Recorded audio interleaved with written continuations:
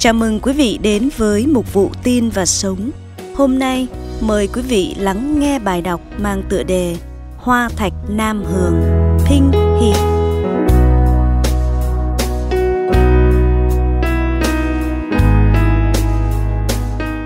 Hoa thạch Nam Hường, tiếng Anh là Pink Heath hay Common Heath, thuộc họ thạch Nam của Úc. Tên khoa học là Epicris impressa Tiếng Hy Lạp Epi có nghĩa là ở trên và Akris có nghĩa là ngọn đồi, mô tả nơi hoa phát triển. Chữ impressa là tiếng Latin của chữ impress trong tiếng Anh, ám chỉ những chấm đồng tiền bên ngoài ống hoa. Chữ impressa cũng mang ý nghĩa xen kẽ. Cứ năm hoa mọc thẳng hàng trên cành hoa, rồi năm hoa khác mọc thẳng hàng tiếp theo ở phía bên kia của cành hoa hoa có màu đỏ với các thùy trắng. Hoa thạch Nam Hường có nguồn gốc từ châu Âu và hiện nay vẫn được trồng ở nhiều nơi trên thế giới. Ở châu Âu, chúng được trồng thành thảm, cả một cánh đồng hoa màu tím rất đẹp và nổi bật. Ở Úc, Pink Heath có phạm vi phân bố kéo dài từ bờ biển trung tâm của New South Wales đến phía nam của Queensland. Bụi cây mảnh khảnh mọc thẳng đứng cao khoảng 1 mét. Phinh hít sản xanh ra thân cây với hoa hình ống màu hương, từ trắng nhạt đến đỏ đậm, hình chuông dài 25 cm. Các loài chim hút mật rất bị thu hút bởi hoa này.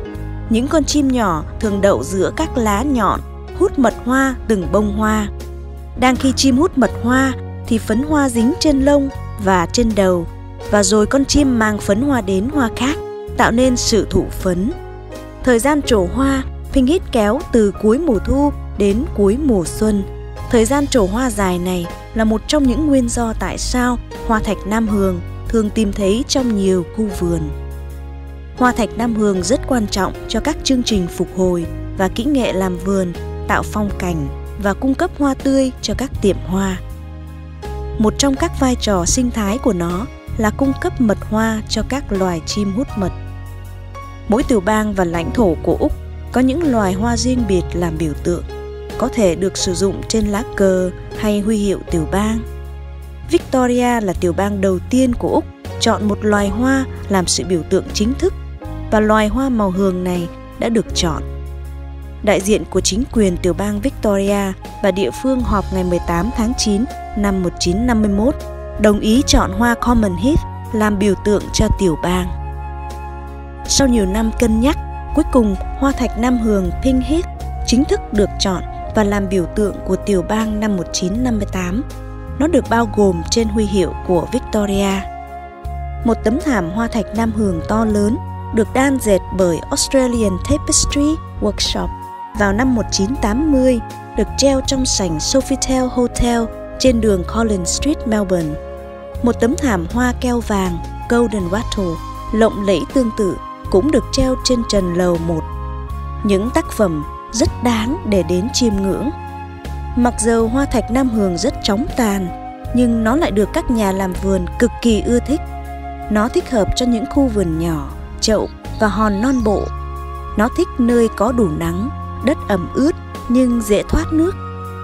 Hoa thạch Nam Hường ngoài việc được trồng trang trí cảnh quan, trồng viền, trang trí còn mang ý nghĩa tượng trưng khác nhau theo truyền thống văn hóa của mỗi nước, như sự độc lập, may mắn, sự đoàn kết, chở che và đôi khi là nỗi niềm thương nhớ, nỗi buồn của sự chia ly.